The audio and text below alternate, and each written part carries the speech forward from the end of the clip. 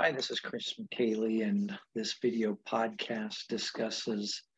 the separation of powers doctrine and exemptions from the APA process. I think I've raised in the past the concern I have about legislative exemptions from the Administrative Procedure Act for regulations considered by state agencies because the main two purposes of the APA process is to provide uh, notice to the public and the regulated community about an impending regulation, and then the opportunity for public comment on those proposed regulations. And by exempting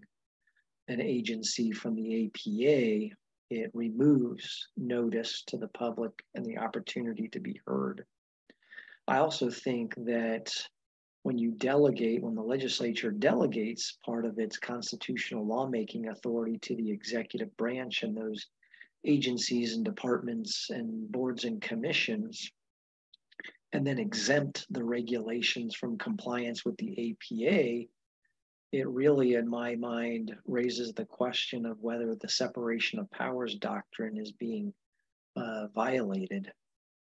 So, what do we find in a bill that becomes a statute? It'll say maybe something like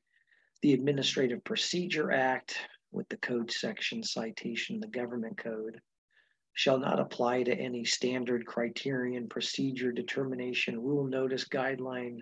or any other guidance established or issued by and name this the executive branch agency or department. So my my concern is that providing this statutory exemption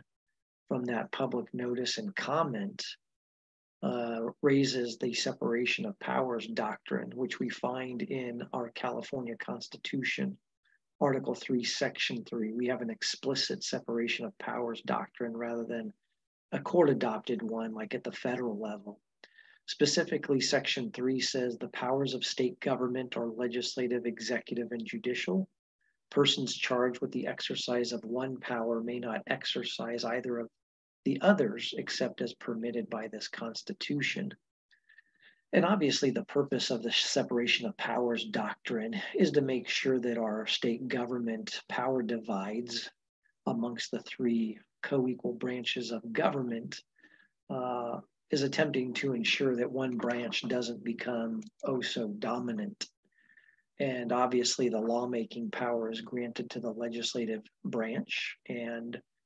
the, the courts of California, um, and certainly at the federal level for that matter as well,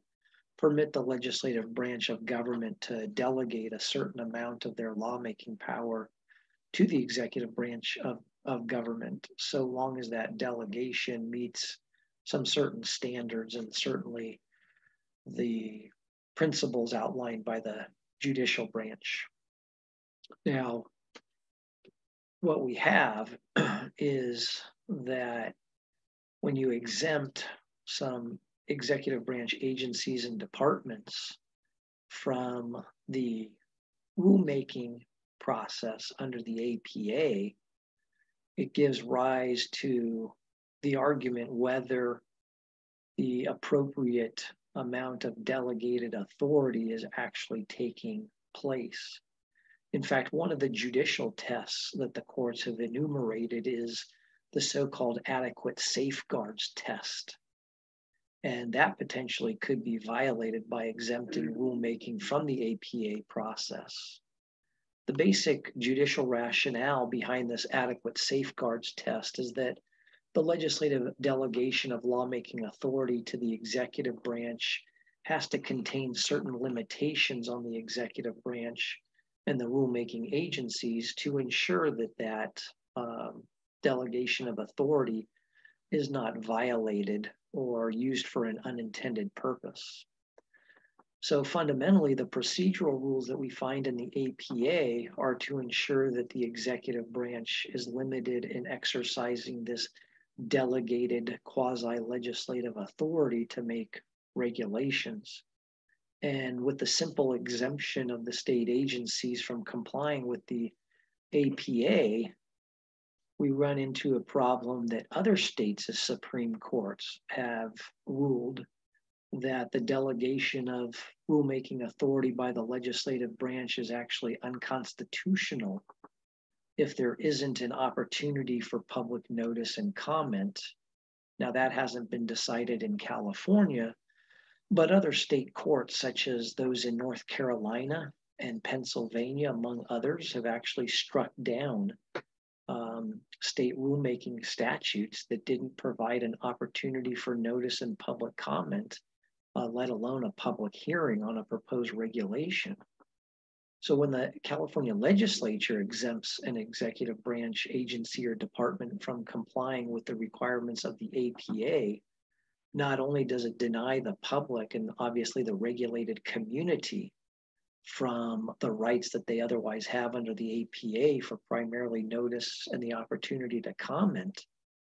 it could also be violating a fundamental constitutional doctrine, the separation of powers.